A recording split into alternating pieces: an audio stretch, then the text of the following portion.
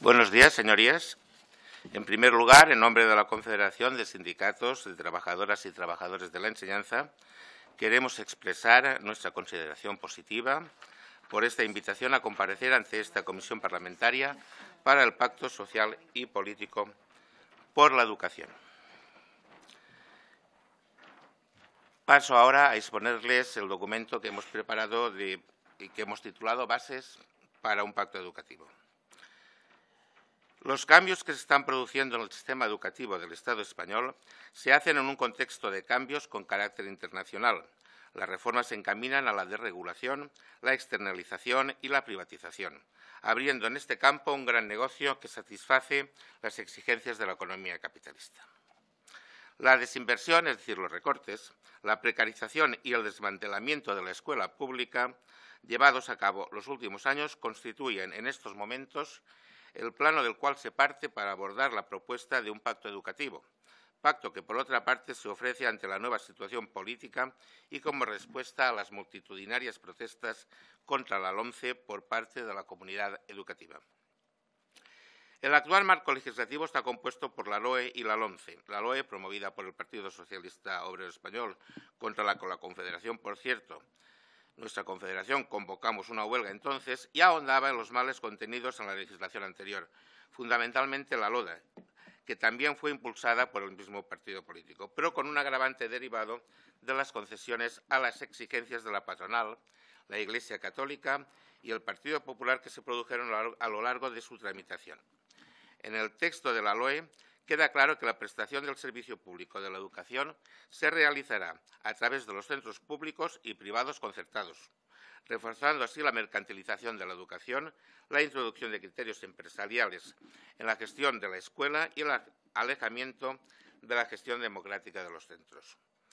Con la LOIA en vigor, el ministro de Educación del Gobierno de José Luis Rodríguez Zapatero, Ángel Gabilondo, intentó sin éxito, con su propuesta de pacto por la educación, impulsar medidas que se acercaban cada vez más a las demandas del Partido Popular y hoy en día se vuelve a hablar de esta iniciativa como referencia para un posible pacto. Tras su triunfo en las elecciones, el Partido Popular y su ministro Bert tramitaron con carácter de urgencia la ONCE, pero sin derogar la LOE. Evidentemente, esta servía y sirve perfectamente como marco en el que desarrollar las deplorables políticas con las medidas que se han ido aplicando y que están teniendo un efecto demoledor para la escuela pública el despido de miles de docentes, la desaparición de la atención a la diversidad, la instauración de un sistema antidemocrático en los centros educativos, el recorte generalizado de plantillas, el cierre de aulas públicas, mientras se destinan más recursos a los centros privados concertados. Además, en los compromisos alcanzados por parte del Gobierno de Mariano Rajoy ante Europa y publicados en julio de 2014, se garantizaba, para alcanzar el Pacto de Estabilidad y disminuir el déficit público, la reducción del porcentaje del PIB destinado a educación hasta llegar a un 3,9% ahora, en 2017. Esto se está consiguiendo, como ha explicado el propio Gobierno central, reduciendo el número de docentes, aumentando la carga horaria y el alumnado que atender por cada profesor o profesora, o reduciendo becas y programas de atención a la diversidad. Este sigue siendo el marco de recortes existente cuando ahora se propone alcanzar un pacto educativo. Las propuestas de la mayoría de los partidos políticos obvian el desmantelamiento al que ha sido sometida la enseñanza pública. Además, la posibilidad de marginar al profesorado y a sus representantes de dicho pacto hacen sonar todas las alertas. Máxime cuando se hace referencia explícita a la aprobación de un estatuto docente cuya base sería la consolidación de las medidas que pretenden acabar con los equipos docentes para pasar a establecer sistemas de individualización de las relaciones laborales. El único pacto posible para salvar la enseñanza pública y por el que se debería trabajar para dar cumplimiento a lo que aprobó en su momento el, Pleno del Consejo Escolar del Estado es un pacto por la escuela pública y laica, la escuela de todos y de todas. Para STES, el derecho universal a la educación ha de hacerse efectivo para todas y para todos en términos de igualdad y gratuidad. Garantizar este derecho es una obligación ineludible de los poderes políticos, de los poderes públicos, perdón.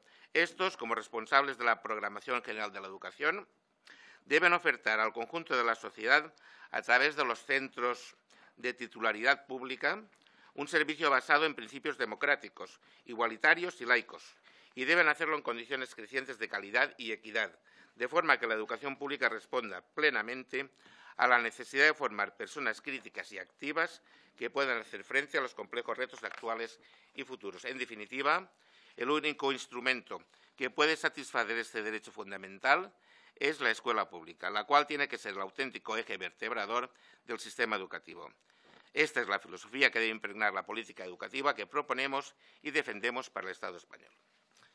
Pasamos a continuación a hacer un diagnóstico lo más resumido que nos ha parecido del sistema educativo en estos momentos.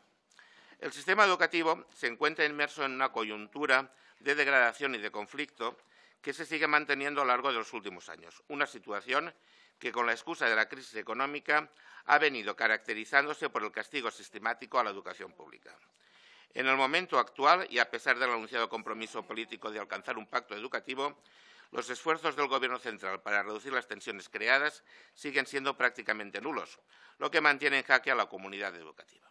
Por esta razón, porque no manifiesta la mínima muestra de revertir los recortes y derogar sin ambajes una ley impuesta y sin consenso, la Plataforma Estatal por la Escuela Pública, de la que estés formamos parte, ha convocado para el próximo 9 de marzo una huelga general educativa. Los motivos para su convocatoria son consustanciales al diagnóstico del sistema educativo que a continuación detallamos. Un periodo de involución y de recortes educativos. El Real Decreto Ley 8 de 2010 de medidas extraordinarias para la reducción del déficit público, con la disminución del 5% de salarios y de la congelación retributiva para los empleados públicos, supone el inicio de una serie de ajustes para las condiciones sociolaborales del profesorado y para nuestro sistema educativo. Siete años más tarde, la acumulación de dichos recortes y las contrarreformas educativas, LOMCE, reforma de la LOU y Reales Decreto de Desarrollo de ambas normas, han supuesto un gran retroceso que nos sitúa en condiciones del siglo pasado. De forma sucinta exponemos algunas de las medidas que han generado las mayores agresiones a los trabajadores de la enseñanza y, por tanto, a la educación. Menos financiación. La cifra total que se ha dejado de invertir en educación, presupuestos generales del Estado, desde 2011 es de 3.100 millones de euros. Si a esta cantidad se le añade los más de 3.000 millones adicionales que se restaron a causa de la aplicación del Real Decreto 14 y 20 de 2012, la cifra alcanza más de 6.500 millones de euros. La variación entre los presupuestos entre 2011 y 2016 supone un recorte del 12,64%, es decir, 359,48 millones de euros menos que en 2011. El porcentaje perdido desde 2010 en educación estaría por encima del 13% se ha pasado de un 4,9 del PIB en 2010 a un 4% en 2016. Y las previsiones para 2017, queda por aprobar los presupuestos de este año, que el Gobierno ha enviado a Bruselas conllevan una reducción del gasto educativo del PIB en una décima pasando al 3,9. Siete años de retroceso en presupuestos que nos colocan por debajo de las cantidades que se invertían en el 2005, el 4,3, esto nos sitúa, por tanto, lejos de la media de la Unión Europea, el 4,9, y de la OCDE, el 5,3%. La reducción de la inversión pública ha venido acompañada de un incremento del gasto de las familias. El ejemplo más evidente se ha producido en el, exagerado aumento de los precios públicos de las enseñanzas universitarias, de manera que los incrementos medios de los precios de los grados superan al 32% y los del máster el 75%. Esta desmesurada subida de precios, producida durante la peor crisis económica de las últimas décadas, junto con la injusta política de becas, ha dificultado a muchos alumnos y alumnas el acceso a los estudios universitarios y ha provocado un inaceptable incremento de las desigualdades. A ello hay que añadir las cantidades retraídas a los empleados públicos. En 2010, lo que ha supuesto una reducción del 5% de recortes en los salarios docentes, como ya hemos advertido. Reducción del profesorado del personal auxiliar en todos los niveles educativos. Las reducciones de plantillas por efecto de las tasas de reposición, el aumento de las horas lectivas y de la jornada laboral, el incremento de la carga académica, la desaparición de programas, etcétera, han supuesto la destrucción drástica de puestos docentes y de personal no docente, junto a un aumento en la precariedad de los mismos. Según los datos del Ministerio de Hacienda y Administraciones Públicas, entre enero de 2012 y enero del 16 se han perdido 41.014 puestos de funcionarios docentes en los niveles anteriores a la universidad, 4.643 profesores universitarios y 2.470 puestos de personal de administración y servicios de las universidades. Aumento de la precariedad laboral. La continua reducción de la oferta de empleo público que se ha venido sufriendo desde el 2011, en que la cifra de interinidad en la docencia era del 8%, ha supuesto una disminución drástica de los puestos docentes, alrededor de 35.000, y un aumento de la precariedad de los empleos. Esto supone que el 25% del profesorado de enseñanzas no universitarias es interino, colectivo al que debería garantizarse una estabilidad en el empleo y la consolidación de su empleo como funcionario docente. En el resto de los sectores, la temporalidad y la precariedad también se han incrementado significativamente. Primero, entre el personal de servicios educativos y complementarios, el 30% tiene contratos temporales. Segundo, el 41% del personal docente e investigador de las universidades públicas tiene contratos temporales y, en muchos casos, precarios. Tercero, las plantillas de personal de administración y servicios de las universidades públicas, la temporalidad ha crecido hasta alcanzar el 17%. Menos apoyos educativos. La política de recortes del Ministerio de Educación ha hecho desaparecer programas educativos que tenían una gran importancia y calado, sobre todo para asegurar la igualdad de oportunidades y para la mejora del rendimiento escolar, como Educatres, competencias básicas, leer para aprender, PROA, profundización de conocimientos, etcétera, se ha reducido también el plan de disminución de abandono escolar temprano, entre otros. Se mantienen recortes o disminución de partidas destinadas al apoyo, al refuerzo y a la orientación educativa. Las partidas destinadas a programas de educación compensatoria en los presupuestos generales del Estado están casi desaparecidas. La reducción entre 2011 y 2016 es de un 92,71%, es decir, 65 millones de euros menos. Menos recursos. A los recortes de recursos humanos y educativos hay que añadir los recortes de las inversiones en infraestructuras, mobiliario y equipos para todos los niveles educativos, el descenso generalizado de los gastos de funcionamiento de los centros, así como la disminución en los gastos de personal docente y no docente. Cierre de, de unidades en el ámbito rural. La inexistencia de políticas económicas y demográficas para rescatar al mundo rural ha provocado en este medio un aumento del cierre de unidades escolares, el desplazamiento del alumnado a centros alejados de su hábitat y la inestabilidad de las plantillas docentes. Todo ello en perjuicio de la igualdad de oportunidades para el alumnado afectado, de lo que no es ajena la aplicación de criterios urbanos en su planificación educativa, con la ausencia de políticas compensatorias ecuánimes. Menos formación permanente. La práctica desaparición de los programas para la formación permanente del profesorado la reducción de centros de profesores o la disminución de licencias por estudios hacen que la formación permanente quede en la voluntariedad individual y con el consiguiente coste económico para las trabajadoras y trabajadores del sector.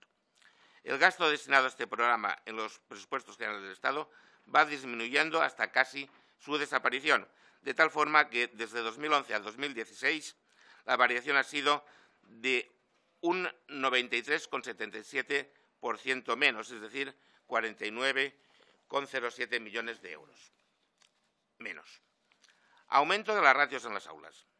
En la aplicación del Real Decreto Ley de 2012, el Real Decreto Ley 14, perdón, de 2012 de medidas educativas, se han incrementado las ratios en un 20%, pasando a 30 alumnos por aula en educación primaria y 36 en educación secundaria, lo que está repercutiendo en la calidad de la enseñanza. El aumento del número de alumnos en las clases ha supuesto un retroceso de décadas en el sistema. La atención a la diversidad en el aula se ha visto perjudicada. Las aulas de infantil masificadas son más difíciles de gestionar. Se han cerrado escuelas rurales, se ha dificultado la atención de los alumnos en los módulos de formación profesional y han aumentado los problemas de convivencia en las aulas de bachillerato con más de 40 alumnos. Este aumento de ratio ha tenido consecuencias en la atención educativa, con la desaparición de grupos de refuerzo, desdobles, etc. más carga horaria para el profesorado. La aplicación del mismo Real Decreto Ley 14 de 2012 reordena el tiempo de trabajo del profesorado generalizando las 37 horas semanales y media. Además, regula la jornada lectiva estableciendo como mínimo 25 horas lectivas semanales para infantil y primaria y 20 horas en las restantes enseñanzas. El incremento de carga lectiva supone menos tiempo para otras actividades como tutorías, departamentos, coordinación o evaluación. Incremento de la dedicación docente en el ámbito universitario. El Real Decreto Ley 14 también de 2012 modifica el régimen de dedicación del profesorado universitario e incrementa la carga académica hasta los 32 créditos ECTS de aquellos profesores que no hayan obtenido una evaluación positiva de su actividad investigadora, de conformidad con el Real Decreto 1086 del 89, de 28 de agosto sobre las retribuciones del profesorado universitario. Este incremento de la dedicación docente hasta los 32 créditos, sin que quede claro el tiempo de dedicación que, que se exige del profesorado, está produciendo unas diferencias de dedicación del PDI entre universidades que no están justificadas y en una nueva desvalorización de la docencia en el ámbito universitario. Peores condiciones sociolaborales. La política educativa de recortes impuestos por el Gobierno han afectado sustancialmente las condiciones de vida de los trabajadores de la enseñanza.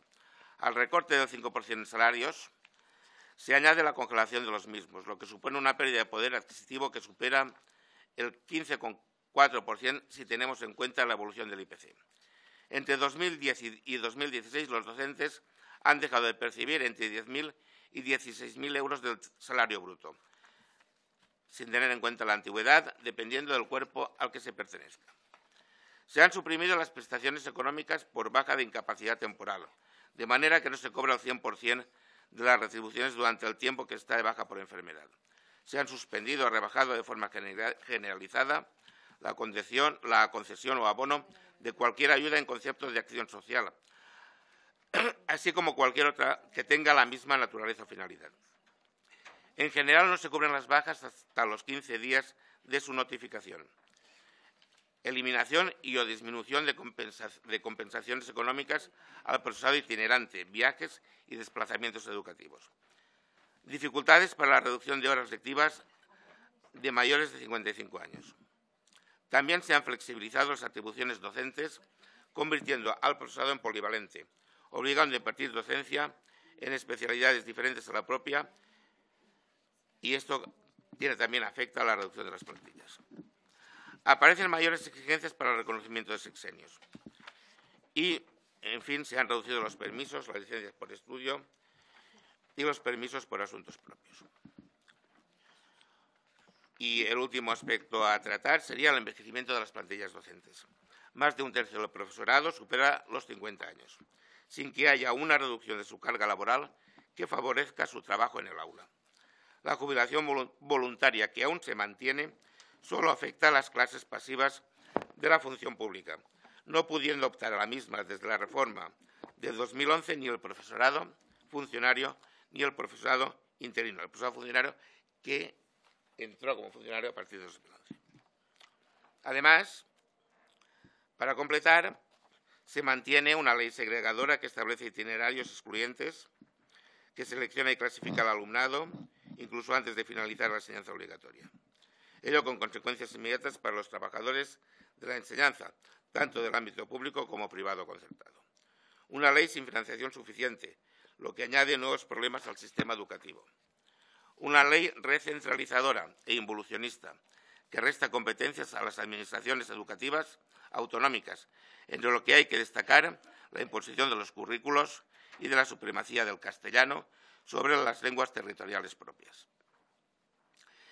El Real Decreto Ley 5 de 2016 de 9 de diciembre de medidas urgentes para la ampliación del calendario de implantación de la ley orgánica mantiene las evaluaciones externas y tempranas, que pueden seguir siendo censales a discreción de las administraciones educativas. El fortalecimiento de las direcciones de los centros incide en la selección de personal docente e incluso en la selección de los alumnos, con consecuencias que afectan también al derecho de movilidad del profesorado. La reducción de la optatividad y, en consecuencia, de las materias de modalidad del bachillerato ha provocado un recorte en el profesorado de cerca de 5.000 empleos. Igualmente obliga, en el mejor de los casos, a una reubicación del profesorado, lo que afecta a sus condiciones también laborales. La inestabilidad de las plantillas de los centros, con un alto grado de interinidad e inseguridad laboral que incide en la calidad educativa. Una formación profesional básica dirigida a una segregación temprana del alumnado para abocarlo al mundo laboral con una mínima formación y excluyéndoles de la formación reglada y de las vías de integración, lo que afecta principalmente a los alumnos con mayores dificultades socioeconómicas. La, la consecuencia es la creación de centros gueto que con grave incidencia en las condiciones laborales de los trabajadores, con graves, perdón, con grave incidencia en las condiciones laborales del profesorado. Recortes significativos en el derecho de participación de la comunidad educativa en los centros, reduciendo competencias de los consejos escolares y afectando negativamente la toma de decisiones tanto para el personal docente como de los demás miembros de la comunidad escolar. La vulneración sistemática de los acuerdos laborales que garantizaban unas condiciones de trabajo dignas para los profesionales, menosprecio absoluto de la negociación colectiva e incumplimiento sistemático de las condiciones de trabajo pactadas. Se han incrementado de forma exagerada los niveles de exigencia para la acreditación a los cuerpos docentes universitarios, endureciendo el sistema de acceso a las plazas de personal docente e investigador, e investigador funcionario. La reducción de los presupuestos dedicados a la educación, tanto en las comunidades autónomas como en el ámbito local, afecta gravemente al profesorado que imparte enseñanzas no regladas, como música y danza, por ejemplo, que ven peligrar sus puestos de trabajo. Todas estas medidas, pues, se han realizado sin la participación de la comunidad educativa y particularmente de los y las representantes legales de los trabajadores y trabajadoras de la enseñanza. ¿Cuáles son las propuestas que presentamos para esta comisión? Ante el deterioro que han supuesto para el sistema educativo los recortes y la implantación de la Ley Orgánica 8 de 2013 para la mejora de la calidad educativa, la LOMCE, y ante la necesidad de un cambio sustancial en nuestro sistema que le dé calidad y estabilidad en el tiempo, los STES proponemos negociar un pacto educativo en base a los siguientes puntos. Primero, es imprescindible una, revisión de una reversión de los recortes y adquirir compromisos sobre el gasto público en educación. concretamente, primero, garantizar durante los ejercicios de 2017, 18 y 19 el progresivo incremento de los presupuestos educativos y de manera prioritaria en el capítulo de gastos de personal, hasta alcanzar el final de la actual legislatura, al menos el nivel de gasto existente en 2009. En segundo lugar, impedir nuevos retrocesos en el gasto público destinado a la educación, en especial y prioritariamente el destinado a los centros públicos garantizando un suelo de gasto público educativo de tal manera que al menos un 5,5% del Producto Interior Bruto se destine a los presupuestos de educación. Tercero, impulsar a medio plazo el aumento progresivo del gasto público educativo hasta el 7% del Producto Interior Bruto. Cuarto, compromiso de una ley de financiación y memoria económica para las propuestas de mejora de una nueva ley orgánica de educación. Otro capítulo nos referimos también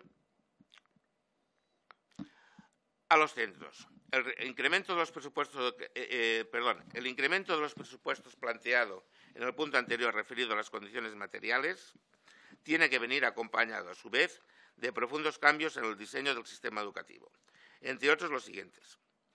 Primero, no habrá especialización de los centros educativos en tipos de alumnos según resultados académicos. Segundo, desaparecerán las reválidas de la ESO y bachillerato y las pruebas individualizadas de tercero y sexto de primaria que marcan el camino académico del alumnado a edades muy tempranas. Favorecen la discriminación y potencian la segregación temprana. Tercero, en ningún caso se establecerán clasificaciones de centros según resultados de ningún tipo de prueba externa o interna. Cuarto, se recuperarán los programas de diversificación curricular. Y se pondrán en marcha todas las medidas de atención a la diversidad necesarias para garantizar la atención a todo el alumnado a lo largo de toda su trayectoria académica. Habrá un único título de graduado en educación secundaria obligatoria, desapareciendo la actual división en enseñanzas académicas y aplicadas. Se reestructurará el actual currículo de las diferentes etapas después de abrir un auténtico proceso de debate y consulta al profesorado. Se implementará un currículo de, carácter integral en las enseñanzas básicas, impidiendo la especialización curricular y garantizando el mismo horario y calendario escolar para todo el alumnado. Se evitará la secundarización de la educación primaria, potenciando la figura del tutor como elemento clave en el desarrollo del alumnado. Se impedirá la mercantilización de la formación profesional, se potenciará como una etapa educativa más y se hará desaparecer tanto su versión más degradada, la formación profesional básica, como su versión más interesada, la formación profesional dual. Tercero, se reestructurará la organización y funcionamiento de los centros educativos, en base a una cultura de la igualdad del trabajo en equipo y de la toma de decisiones de manera colectiva. Esto supondrá, entre otras cosas, lo siguiente. Los órganos colegiados dejarán de ser órganos meramente consultivos para pasar a ser verdaderos entes de gobierno. El actual sistema de selección de directores y directoras será sustituido por un sistema de elección democrática, en el que participe toda la comunidad educativa. Se rebajarán las actuales competencias de los equipos directivos al pasar parte de ellas a los órganos colegiados. En ningún caso tendrán capacidad para rechazar o proponer el nombramiento de profesorado. Cuarto, la educación no es un mercado. Es ineludible detener la política de conciertos e ir reduciendo progresivamente su financiación pública hasta la superación de la actual doble red caminar hacia una escuela pública y al mismo tiempo y sin perjuicio de ningún colectivo docente, se debe articular una salida al profesorado de la concertada en su, en su incorporación a la red pública. De manera más inmediata proponemos que no se permitirá la cesión del suelo de suelo público para la construcción de centros privados. Con carácter inmediato se rescindirán los conciertos y subvenciones a los conciertos que segregan al alumnado por sexos. Quinto, la educación en el Estado español será laica, por lo que propugnamos la eliminación de la enseñanza confesional de cualquier doctrina religiosa en el currículo escolar y, en consecuencia, no tiene sentido que exista una asignatura de religión de cualquier confesión en dicho currículo. Hasta que no se revisen los acuerdos internacionales que imponen la presencia de la asignatura de religión católica y por extensión las del resto de confesiones que tienen acuerdos con el Estado español, se harán los cambios normativos necesarios para que la religión deje de computar a todos los efectos en el expediente académico. Del mismo modo, se propone la desaparición de cualquier asignatura evaluable alternativa a la religión. Sexto, cualquier pacto por la educación debe ser respetuoso con las competencias autonómicas y, por ello, las comunidades autónomas tienen que tener la posibilidad de implementar políticas en materia educativa para poder desarrollar su propio modelo. Séptimo, derogación de normativas de recortes y recuperación de derechos laborales, lo que supone, entre otros puntos, lo siguiente. Retirada de los Reales Decretos Ley 14 y 20 de 2012 y las normativas autonómicas de recortes. Disminución del horario de docencia directa del profesorado. Empleo, público docente, suficiente, estable y de calidad. Sustitución inmediata de las ausencias del profesorado por una educación de calidad inclusiva, disminución de las ratios máximas del alumnado en las aulas, flexibilización para desdobles, refuerzos, profundizaciones, recuperaciones de materias suspensas y para la atención del alumnado con necesidades de atención educativas específicas. Desburocratización del trabajo docente e impulso del trabajo del profesorado cooperativo y en equipo en los centros recuperación salarial y mejoras retributivas para todo el profesorado. Oposición a los modelos de carrera docente jerarquizadora. Es imprescindible garantizar el derecho a la negociación colectiva e impedir que las relaciones laborales se individualicen. El control sobre la educación con evaluaciones estandarizadas solo consigue la precarización de la profesión docente, de sus condiciones laborales y de su cualificación. En cuanto al establecimiento de los cuerpos docentes, el horizonte que nos inspira es la creación del cuerpo único de enseñanza.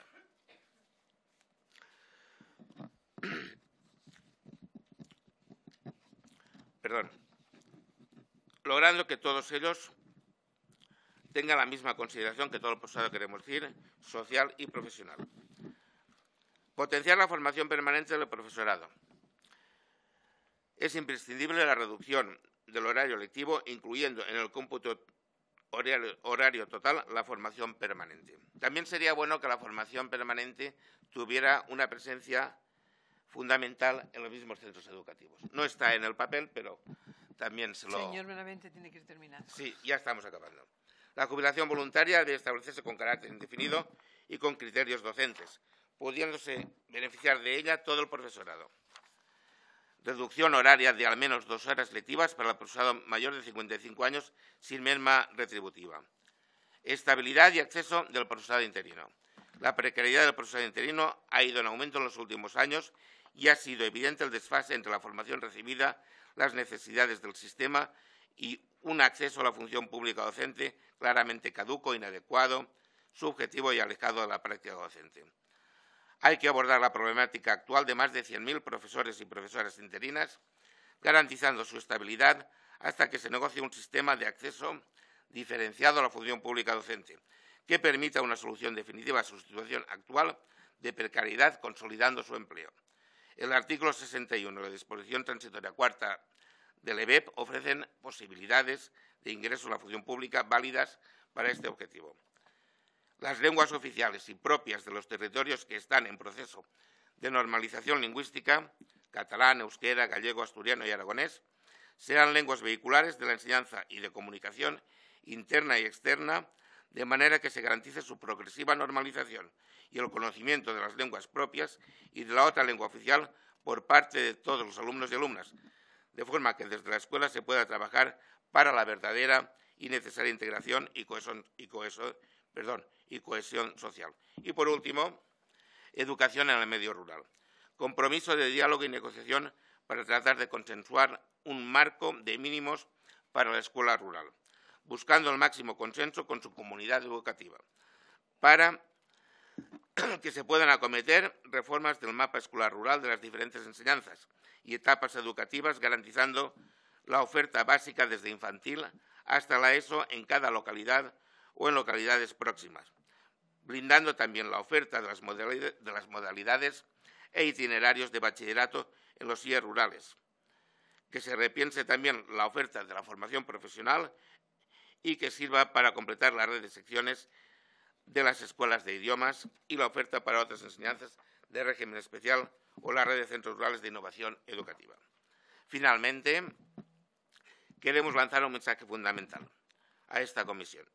Los trabajos emprendidos no deben limitarse solo a los debates y acuerdos en sede parlamentaria. Es imprescindible la participación social y la negociación con las y los representantes de la comunidad educativa, en nuestro caso del profesorado, habilitando los tiempos y los espacios necesarios para que el resultado final sea un verdadero acuerdo social y político por la educación. Muchas gracias.